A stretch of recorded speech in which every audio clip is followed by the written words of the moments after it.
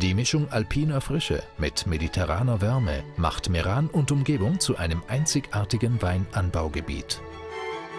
Außergewöhnliche Weinberge, extravagante Weine.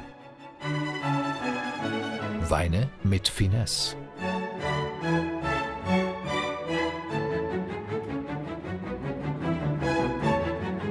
Kellerei Meran. Von Meran bis Finchgau unter einem Dach.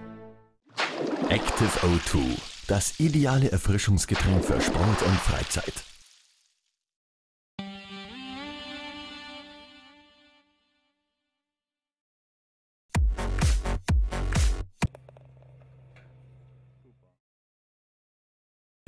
Die für das Abschlussturnier angekündigten Wetterprognosen ließen ordentlich Regen und Gewitter erwarten. Dennoch konnte ein Großteil des Feldes, besonders jene mit frühen Startzeiten, den Platz trocken und bei angenehmen Temperaturen bewältigen. Der Regen kam dann auch prompt in den Nachmittagsstunden. Eine deutliche Abkühlung wurde spürbar, Gewitter blieben aber zum Glück aus. Das Teilnehmerfeld war besetzt mit einer Vielzahl von starken Singlespielern. Sie alle kämpften um die Qualifikation für das nationale Finale im Golfclub Arzaga im Oktober. Die Nettosieger der ersten beiden Kategorien sowie die Siegerin der Lady Netto-Wertung erhalten diese begehrte Einladung. Die Nettosieger des nationalen Finales dürfen sich auf ein Ticket für das Weltfinale des BMW Golf Cup International im Sentosa Golf Club in Singapur freuen. Nach dem Turnier lud Auto Icaro ins Clubrestaurant zur Siegerehrung mit anschließendem Grillabend. Der Sieger der ersten Kategorie Netto und somit qualifiziert für das nationale Finale stammt vom Golfclub Dolomiti. Mit 38 Nettopunkten sicherte sich Alois Zelger die Finalteilnahme in Arsaga. Der Platz war sehr gut heute und das Button ist nicht so gut gegangen, aber sonst ist alles gegangen. Das Wetter ist auch nicht so schlecht gewesen. Obwohl einige der früh gestarteten Spieler bereits die Heimreise angetreten hatten, hatte sich der Großteil des Teilnehmerfeldes im Clubhaus versammelt und horchten den Dankesworten des Sponsors Paolo Petriccione sowie des Präsidenten Moreno Tresorio. Trotz einiger Regentropfen hat das Wetter heute insgesamt ein super Turnier ermöglicht. Der Platz war natürlich sehr nass, daher waren die Verhältnisse etwas schwierig. Deswegen sind auch die Ergebnisse anders ausgefallen, als wir es uns eigentlich gedacht hatten. Trotzdem war es ein großartiges Turnier. Der BMW International Golf Cup wird in drei Kategorien gewertet. Die jeweils Erstplatzierten der ersten und zweiten Kategorie sowie die Siegerin der Lady-Kategorie qualifizieren sich für das nationale Finale in Arzaga. Es ist dies sicherlich das einzige Turnier auf internationaler Ebene, wo ein Ladies-Team fix mit dabei sein wird, sei es beim nationalen Finale wie auch beim Weltfinale in Singapur. Während der vier besonderen BMW-Tage hier in Sernonico im Golfclub Dolomiti haben wir ca. 300 Gäste begrüßt. Davon haben ca. 160 am Turnier mitgespielt. Wir haben uns alle fantastisch unterhalten. Ich würde fast sagen, es war ein perfektes Event.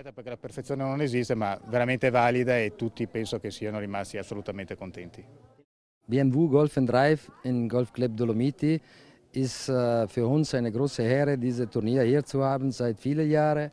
Besonders dieses Jahr, wo BMW hat äh, für drei, vier Tage so viele Leute in äh, Sarnonico gebracht mit diesem Golf Drive, wo kann man Golf spielen, Golf lernen mit äh, Profi die erste Klasse italienische Golfschule, Schule, entschuldige, und mit ungefähr, da waren 18 Autos zu, äh, zu lenken.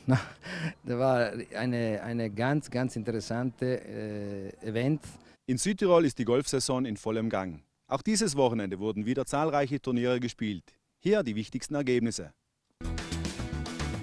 Trofeo Auto Icaro, BMW Golf Cup International, Golfclub Dolomiti, 17. Juli 2011. Gesamtsieger Trisorio Moreno, Golfclub Dolomiti, 33 Bruttopunkte. Hotel Gardena, Alpina Dolomitis 2011, Golfclub Castelruth, 17. Juli 2011. Gesamtsieger auf der Klamm Kevin, Golfclub Lana, 34 Bruttopunkte. Falkensteiner Cup, Golfclub Pustertal, 17. Juli 2011. Gesamtsieger Bramstaller Thomas, Golfclub Pustertal. Einen besonderen Erfolg durfte vergangene Woche das Triveneto-Team vom Golfclub Dolomiti feiern. Ihnen ist es gelungen, den Titel Netto-Gesamtsieger der Triveneto Mannschaftsmeisterschaften 2011 nach zwölf Jahren wieder nach Sanonico zu holen. Wir haben mit den glücklichen Siegern gesprochen. Ja, nach äh, zwölf Jahren äh, ist es natürlich super, den Cup wieder zurück in den Heimatclub zu bringen. Ähm, vor zwölf Jahren war ich 16 Jahre alt. Ähm, derjenige, der mich im ersten Doppel gerettet hat, der Jan Mark, äh, ist dieses Jahr 16 Jahre alt. Ist toll, dass wir gleich alt sein, wenn wir das erste Mal den Cup gewonnen haben. Ähm, Dolomiti hat, glaube ich, schon immer gezeigt, dass in den Teamwettbewerben, dass man gut dastehen können, auch wenn wir vielleicht handicapmäßig nicht so nieder sind wie die anderen Clubs, die da mit teilnehmen. Und dann haben wir allem zwei alte Hasen im Boot mit dem Manni und mit dem Moreno, die so viel Erfahrung haben und von denen können wir Junge nur profitieren. Also es war wirklich eine tolle Erfahrung.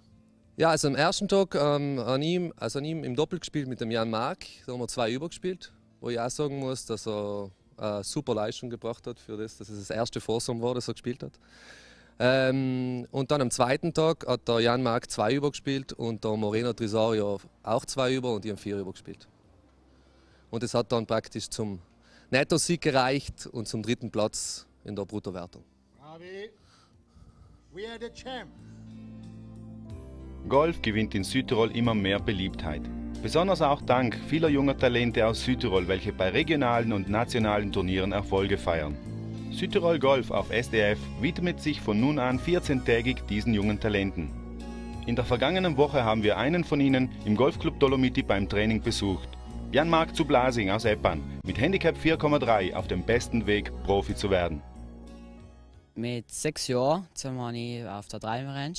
Wenn mein Vater war, habe ich irgendwann ein paar Bälle ausgeschlagen, weil es einfach mich fasziniert hat, wie der geflogen ist, der Ball, und wie man ihn getroffen hat und so. Dann habe ich so wie probiert. Dann hat mein Vater gesehen, dass ich ein bisschen etwas kann und mir das, mir das passt. Dann ist er gleich zum Pro-Shop gegangen. Dann hat er mir so kleine Golfschläger gekauft seitdem tue ich eigentlich konstant Bälle schlagen. Jetzt zur Zeit trainiere, muss ich fast jeden Tag schauen zu trainieren. Entweder Fitness oder auf die Driver Range gehen oder auch 9 Loch oder 18 Loch spielen gehen. Jetzt mal zur Zeit, der größte Erfolg war sicher das Triveneto, das wir zusammen gewonnen haben, also Dolomiti. Jetzt habe ich eine gute zwei Überrunden gemacht, was sicher eine große Parte gemacht hat, für das wir gewonnen haben. Und vor zwei Jahren habe ich Teilmeisterschaft gespielt von den äh, Junior. Zweimal bin ich 29. geworden von 90. Dann also in Katschaft und danach eigentlich noch weitergekommen.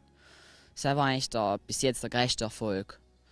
Und Beispiel jetzt vor drei, vier Wochen hat, äh, waren die Kadetti, also unter 16 die Teilmeisterschaft. Und dann ist mir der erste Tag ein bisschen verhauen. Aber am Ende bin ich halt 55. geworden. Jetzt muss ich schauen, dass ich weiterkomme und viele Jungturniere schaffe zu machen und gute Resultate heimzubringen. Und ja, nachher schauen wir mal. Ich hoffe, dass es äh, zum Profi reicht wie Benau und Semmer, der jetzt die Alptour spielt. In Zusammenarbeit mit den Golf Professionals auf Südtirols Anlagen möchten wir Ihnen auch heute wieder die Grundlagen dieses fantastischen Sports näher bringen. Heute zeigen wir Ihnen den Schlag aus dem Sandhindernis, den Bunker Shot. Die Tipps dazu kommen dieses Mal vom PGA Head Professional vom Golfclub Lana, Chris Maudsley. Hi, ich bin Chris Maudsley, vollqualifiziertes Mitglied der British PGA und Golf Professional in Lana. Heute möchte ich Ihnen den Bunkerschlag zeigen. Die richtige Position und die richtige Technik ist dabei ausschlaggebend. Beginnen wir mit dem richtigen Stand. Ein guter Stand ist keine Garantie für einen guten Schlag, aber ein schlechter Stand ist eine Garantie für einen schlechten Schlag. Das ist meine Position im Bunker. Mein Stand ist geöffnet, das heißt meine Füße, Beine, Hüften und meine Schulter sind links von der Fahne ausgerichtet. Der Ball liegt dabei etwas vorne im Stand, auf der Höhe meiner linken Ferse. Das Körpergewicht ist zu 50-50 auf beide Beine verteilt. Ich halte den Schläger mit normalem Grip. Die Schlagfläche ist dabei etwas mehr geöffnet, die Hände sind hinter dem Ball. So sieht die richtige Ansprechposition im Bunker aus.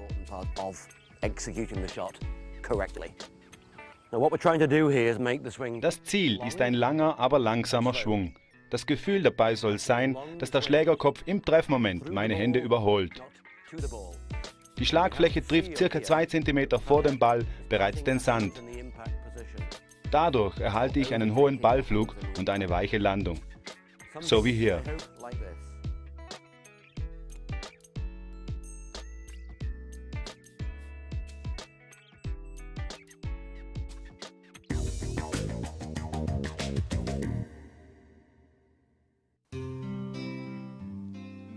Mit den Bildern der Driving Range des Golfclub Dolomiti endet unsere heutige Sendung Südtirol Golf auf SDF.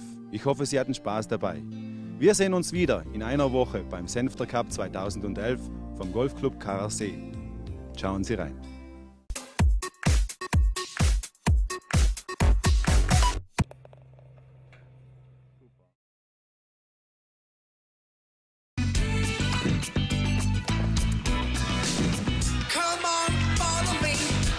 Have a real good time. From now on, every day, we'll wake up to a different style.